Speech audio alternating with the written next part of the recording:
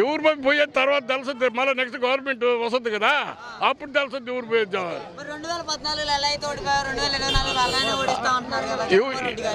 జగన్మోహన్ రెడ్డిని ఓడిస్తారు మళ్ళీ చంద్రబాబు నాయుడు ఓడిస్తారు ఆ విధంగా. చంద్రబాబు నాయుడు గారు అంటున్నారు కదా పథకాల పేరుతో ప్రజల సొమ్ము దోచుకుంటున్నాడు జగన్మోహన్ రెడ్డి.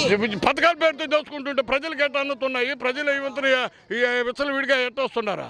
ప్రతి ఒక్కరికి అందుబాటులో ఉంటుండే. ప్రజల ఆయన అంటున్నా అంటే నోటికి ఏదో ఒకటి మాట్లాడాలి కాబట్టి అంటున్నాడు.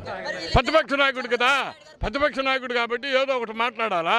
ఇక నోరు ఊరుకుండలాగా మాట్లాడుతున్నాడు. మరి ఇప్పుడు పవన్ కళ్యాణ్ గారు చంద్రబాబు నాయుడు గారు పొత్తుంది కదా? ఆ పొత్తు వల్ల జగన్మోహన్ రెడ్డి గారు భయపడుతున్నారు అంటున్నారు కదా ఎవరు భయపడతారు? ఎందుకు భయపడతారు? వాళ్ళు వాళ్ళు మేకలు మేకలు పెట్టబోతాయి పులులు పులులు పోట్లాడితే భయపడతారు కదా.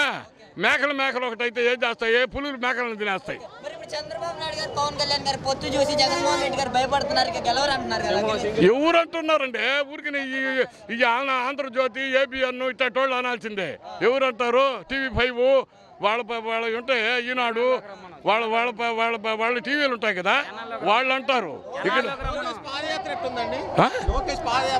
ఏమి లేదు సందుల్లో గొంతుల్లో తిరుగుతున్నాడు మరి రెండు వేల పద్నాలుగులో ఎలా అయితే ఓడిపోయా అలానే అలానే ఓడించి నీకు రాజకీయాలు అంటే ఏంటో నేర్పిస్తాం మేము అని లోకేష్ అంటున్నాడు కదా అంటే చేతకాయల మాటలు పిల్లోడు కదా.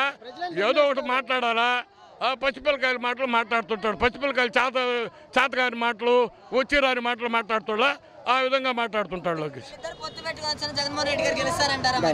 వాళ్ళు కాదు ఇంకో పది పార్టీలు పెట్టుకున్నా సమ సమంగానే పోట్లాడుతాయి నూట డెబ్బై సీట్లు నూట డెబ్బై ఐదుకి నూట డెబ్బై ఆరు వస్తాయి ఇంకా మాట్లాడితే.